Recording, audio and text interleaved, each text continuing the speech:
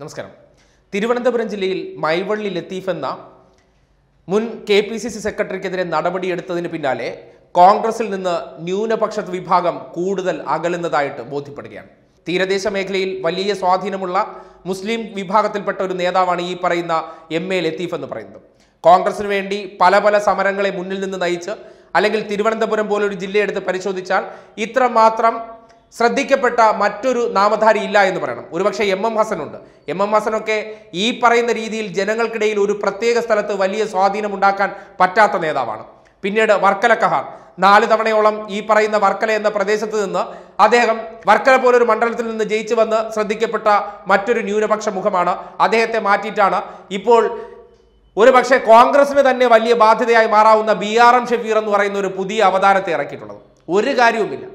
എവിടെ പോയി സംസാരിച്ചാലും കുറച്ച് കൈയടിക്കുന്ന വിഭാഗക്കാരുണ്ട്. കാര്യം അദ്ദേഹത്തിന്റെ അത്ര മനോനിലയുള്ള ഒരു വിഭാഗക്കാർ അദ്ദേഹത്തിന്റെ ചുറ്റാകെ ഉണ്ട് എന്നതിനപ്പുറം ഒരു മികച്ച സംഘാടകനോ മികച്ച പ്രാസംഗികനോ അല്ലെങ്കിൽ ഇപ്പോൾ ഒരു തെരഞ്ഞെടുപ്പിൽ നിന്നിട്ട് ജയിക്കാൻ ശേഷിയില്ലാത്ത വ്യക്തിയാണ് എന്ന് സ്വമേധയെ അദ്ദേഹം ബോധ്യപ്പെടുത്തി കഴിഞ്ഞു.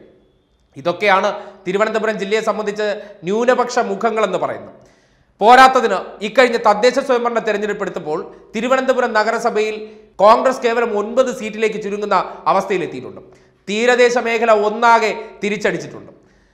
ആ മേഖലയിലൊന്നും മുൻപ് നഗരസഭയിൽ സി പി എമ്മിന് വേണ്ടത്ര സ്വാധീനം ചെലുത്താൻ പറ്റാത്ത മേഖലയിൽ പോലും ഇത്തവണ പൗരത്വ ഭേദഗതി ബില്ലിന് ശേഷം ഇടത് രാഷ്ട്രീയത്തോട് ന്യൂനപക്ഷങ്ങൾ അടുക്കുന്ന സാഹചര്യമുണ്ടായി. നിയമസഭാ തെരഞ്ഞെടുപ്പിലും അത് പ്രത്യക്ഷമായതോടുകൂടി.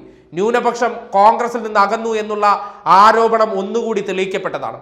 പക്ഷേ അതിന് പിന്നാലെ ലോകത്ത് കേട്ടുകേൾവിയില്ലാത്ത രീതിയിൽ ലത്തീഫിനെതിരെ കോൺഗ്രസിന്റെ ഇപ്പോഴത്തെ പ്രസിഡന്റായിട്ടുള്ള പ്രത്യേകിച്ച് ഒരു കാര്യം എടുത്തു പറയണം. ബി ജെ പി മൈൻഡുള്ള ഒരു K P C C president. അദ്ദേഹം മുമ്പ് ജനസംഘിന്റെ ആളായിട്ടൊക്കെ നടന്ന വ്യക്തിയാണ്.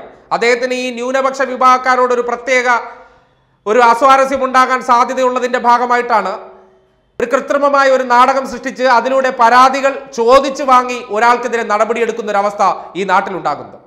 ആ പരാതി ചോദിച്ചു വാങ്ങിയ പലരും ഒപ്പിടാൻ തയ്യാറായിട്ടില്ല. ചെറിയൻകീഴിൽ മത്സരിച്ച അനൂപ് സ്ഥാനാർത്ഥിയെ മുൻനിർത്തി ചില കോൺഗ്രസ് നേതാക്കന്മാർ അതായത് സുധാകരന് വേണ്ടി വിടുപണി ചെയ്തുകൊണ്ടിരിക്കുന്ന നേതാക്കന്മാർ നടത്തിയ നാടകത്തിനൊടുവിലാണ് ഈ നടപടി ഇപ്പോൾ സ്വീകരിച്ചിരിക്കുന്നത്. വലിയ പ്രതിഷേധമുണ്ടായപ്പോൾ ഇപ്പോൾ അന്വേഷണ കമ്മീഷനെ വെച്ചിട്ടുണ്ട്. ലോകത്ത് എവിടെയെങ്കിലും കേട്ടുകേൾവിയുണ്ടോ പുറത്താക്കുക അതിനുശേഷം അന്വേഷണം നടത്തുക. ആ രീതിയിലുള്ള ഒരു പ്രവർത്തനം നടത്തി ഇപ്പോൾ വല്ലാതെ നാണം കെട്ടിരിക്കുകയാണ്. ഉമ്മൻചാണ്ടി ഉൾപ്പെടെയുള്ളവർ ഈ വിഷയത്തിൽ ശക്തമായ പ്രതിഷേധം മുന്നോട്ട് വയ്ക്കുമ്പോഴും അതിനൊന്നും ചെവി കൊടുക്കുന്നില്ല. ഗ്രൂപ്പില്ല അത്ര ഇപ്പോൾ കെ എസ് ബ്രിഗേഡ് ഗ്രൂപ്പ് മാത്രമേ ഉള്ളൂ. അല്ലെങ്കിൽ വി ഡി സതീശൻ ഗ്രൂപ്പ് മാത്രമേ കോൺഗ്രസിനുള്ളൂ നേരത്തെ ഓരോ ഗ്രൂപ്പിലും സജീവമായി നിന്നവർ ഇവരെ മൈൻഡ് ചെയ്യാത്തവർ ഇവർക്കൊന്നും പാർട്ടിക്കകത്ത് ഇപ്പോൾ സ്ഥാനമാനങ്ങളില്ലത്ര. ഈ ഡി സി സി പ്രസിഡന്റുമാരെ എടുത്ത് പരിശോധിച്ചാൽ തന്നെ ഈ ചുക്കിനും ചുണ്ണാമ്പിനും ഇല്ലാത്ത നേതാക്കന്മാരാണ് പെട്ടിയെടുപ്പുകാരെന്ന ആരോപണം ഉന്നയിച്ചത്. കെ പി അനിൽകുമാർ എന്ന കോൺഗ്രസിന്റെ സംഘടനാ ചുമതലയുള്ള ജനറൽ സെക്രട്ടറി ആയിരുന്നു എന്നിട്ടാണ് ഈ പാർട്ടിയിൽ നിന്ന് പുറത്തിറങ്ങിപ്പോയത്.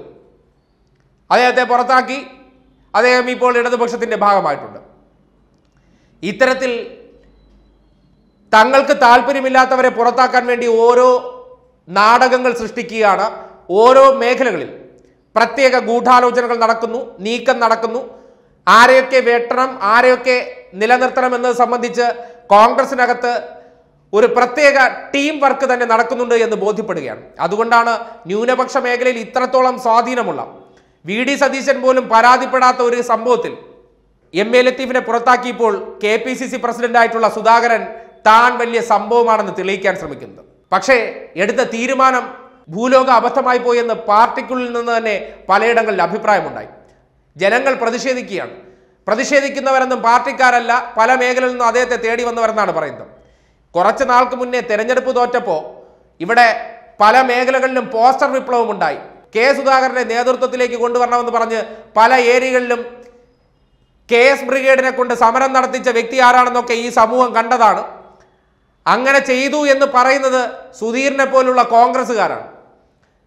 സുധാകരനെ കൊണ്ടുവരൂ കോൺഗ്രസിനെ രക്ഷിക്കൂ എന്നാണ്. ഇതിപ്പോൾ സുധാകരനെ കൊണ്ടുവന്നു കോൺഗ്രസിന്റെ പെട്ടിയിൽ ആണിയടിക്കുന്ന അവസ്ഥയിലേക്ക് കാര്യങ്ങൾ പോവുകയാണ്. എന്തൊക്കെ തീരുമാനങ്ങളാണ് ഇത് എടുക്കുന്നതെന്ന് അദ്ദേഹത്തിന് തന്നെ അറിയില്ല. വിറളി പിടിച്ച് നടക്കുകയാണ്. ഒരു കാര്യം ചെയ്യുന്നതിന് ഒരു മനുഷ്യൻ ആദ്യം വേണ്ടത് പക്വതയാണ് കേൾക്കാൻ വേണ്ട ക്ഷമയാണ്. അത് കേട്ട് മനസ്സിലാക്കിയതിന് ശേഷം അതിന്റെ വസ്തുത എന്താണെന്ന് തിരിച്ചറിയാൻ കുറച്ച് യുക്തി വേണം. ഇതൊന്നും ഇല്ലാതെ പോയതാണ് സുധാകരൻ എന്ന വ്യക്തി ഇപ്പോൾ കോൺഗ്രസിന് ബാധ്യതയാകാൻ കാരണം. ആരൊക്കെയോ ചിലർ കൈയടിക്കുന്നുണ്ട്. എന്തിനാണ് കൈയടിക്കുന്നതെന്ന് വെച്ചാൽ ആർക്കും മനസ്സിലാകുന്നില്ല. സുധാകരൻ അധികാരത്തിൽ വന്നതിന് ശേഷം എന്താണ് കോൺഗ്രസ് പാർട്ടിക്ക് കേരളത്തിലുണ്ടായ മെച്ചം? സുധാകരൻ കുറേ കാര്യങ്ങൾ അവകാശപ്പെടുന്നുണ്ട്. അത് ചെയ്തു ഇത് ചെയ്തു സമരം ശക്തമാക്കി എന്നൊക്കെ. ഇതൊന്നും ജനങ്ങളെ ഇൻഫ്ലുവൻസ് ചെയ്യുന്നില്ല എന്നുള്ളതാണ് വസ്തുത. ആ നിലയ്ക്ക് നോക്കുമ്പോൾ ലത്തീഫിന്റെ കാര്യത്തിലെടുത്ത് പരിശോധിച്ചാൽ ആ മേഖലയിലുള്ളവർക്ക് ഒരുപാട് ഗുണങ്ങൾ ഇദ്ദേഹത്തെ കൊണ്ട് കിട്ടുന്നുണ്ട്. അതുകൊണ്ടാണ് പരസ്യമായിട്ട് പ്രതിഷേധത്തിൽ വരുന്നു. ഇപ്പോഴും നടക്കുന്നു. കഴിഞ്ഞ ദിവസവും കഴക്കൂട്ടത്ത് ഇതിന്റെ സംബന്ധിച്ച് പ്രതിഷേധങ്ങൾ ഉണ്ടായിട്ടുണ്ട്. ആ പ്രദേശത്താകെ കോൺഗ്രസ് പ്രവർത്തകർ അസംതൃപ്തരാണ്. ഈ പാർട്ടിയോട് തന്നെ അവർക്ക് താല്പര്യമില്ലാത്ത അവസ്ഥയിലേക്ക് കാര്യങ്ങൾ എത്തിയിരിക്കുകയാണ്. ചില നേതാക്കന്മാരുടെ ഗൂഢാലോചനയുടെ ഇരയായി അദ്ദേഹത്തെ പുറത്തേക്ക് വഴി തുറക്കുമ്പോൾ അതിന് ചുക്കാൻ പിടിക്കുന്നത് ചില ബി മനസ്സുള്ള കോൺഗ്രസ് നേതാക്കന്മാരാണെന്ന് ഈ പറയുന്ന പ്രദേശങ്ങളിൽ നിന്ന് ആരോപണങ്ങൾ ഉയരുന്നുണ്ട്. നെടുമങ്ങാട് ആയിക്കോട്ടെ ആറ്റിങ്ങലായിക്കോട്ടെ കഴക്കൂട്ടമായിക്കോട്ടെ ഈ മണ്ഡലങ്ങളിലെല്ലാം ലത്തീഫിനുള്ള സ്വാധീനം ആരെയും പറഞ്ഞ് ബോധ്യപ്പെടുത്തേണ്ട കാര്യമൊന്നുമില്ല. തിരുവനന്തപുരം പോലൊരു മണ്ഡലത്തിൽ എന്തുകൊണ്ട് തോൽവി സംഭവിച്ചു എന്ന് കോൺഗ്രസ് നേതാക്കന്മാർക്ക് അറിയാലോ? അതായത് ബി ജെ പിയെ പ്രീണിപ്പിച്ച് പ്രീണിപ്പിച്ച് അവസാനം ന്യൂനപക്ഷ വിഭാഗങ്ങളെല്ലാം ഈ പാർട്ടി വിട്ടു പോകുന്ന ഒരു സാഹചര്യമുണ്ടായി. അന്ന് അതിന് ചുക്കാൻ പിടിച്ച ചില നേതാക്കന്മാരെല്ലാം ഇപ്പോൾ നിശബ്ദരായി നിൽക്കുന്നുണ്ട്.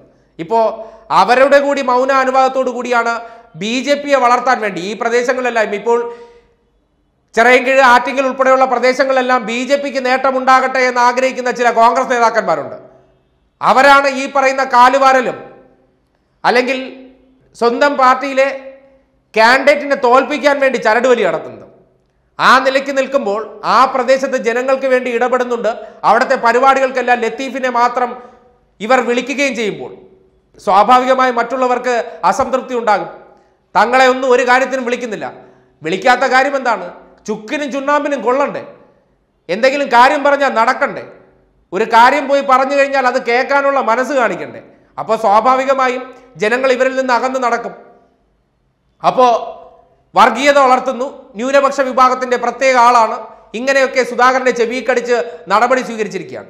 പെരുമാതുറ പോലുള്ള പ്രദേശങ്ങളിലൊക്കെ മുസ്ലിം ഭൂരിപക്ഷ ഏരിയയിൽ എന്തുകൊണ്ട് കോൺഗ്രസിന് കുറച്ച് വോട്ടുണ്ട് എന്ന് ചോദിച്ചാൽ അത് എം എ വാഹിദിനെ പോലുള്ള നേതാക്കന്മാരെ ഒന്ന് വിളിച്ച് ചോദിച്ചാൽ മനസ്സിലാകും എന്തുകൊണ്ടാണ് അവിടെയൊക്കെ ഒരു സ്വാധീനം നിലനിൽക്കുന്നു എന്നുള്ള കാര്യം. ഇപ്പോൾ അദ്ദേഹം വളർന്നു ഉമ്മൻചാണ്ടിക്കൊപ്പം നിൽക്കുന്നു. സംഘടനാ തിരഞ്ഞെടുപ്പ് വരികയാണെങ്കിൽ ഈ സുധാകരന് പുറത്തേക്ക് പോകേണ്ട സാഹചര്യം ഉണ്ടാകുമെന്നൊക്കെ ബോധ്യപ്പെട്ടപ്പോൾ എങ്ങനെയും പുറത്ത് കളയുക. പുറത്ത് കളഞ്ഞ് ഇല്ലാതാക്കി കളയാമെന്നങ്ങ് സുധാകരൻ കരുതി. ഇപ്പോൾ അന്വേഷണ കമ്മീഷന്റെ റിപ്പോർട്ട് മേടിക്കുകയാണ്. പുറത്ത് നിർത്തിയിട്ടാണ് അന്വേഷിക്കുന്നത്. ബാക്കി പലരും പരാതി കൊടുത്തപ്പോൾ അന്വേഷണവും ഇല്ല. അവരൊക്കെ പാർട്ടി വിട്ടുപോയി. മറ്റ് പാർട്ടികളിൽ അഭയം തേടിയിട്ടുണ്ട്. എങ്ങനെയും എം എൽ എത്തിപ്പും.